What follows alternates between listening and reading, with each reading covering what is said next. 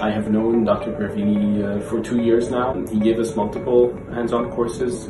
The one that I uh, benefited from the most was the uh, the sinus lift course. Even though I have been practicing uh, open sinus lifting for a while before I took the course, I was really surprised by the amount of tips and tricks he gave us during those uh, courses.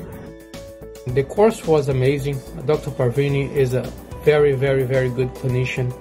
He explains very well all the complications and solutions that we can find when uh, working in the maxillary sinus. He has so many tips and tricks, no matter if it's basic surgery or if it's very complex surgery. All information given by him is always evidence-based and up to date. No matter your level of clinical proficiency, he finds always something to teach you. After this course, I felt uh, more comfortable dealing with more complex cases with ease and, and confidence.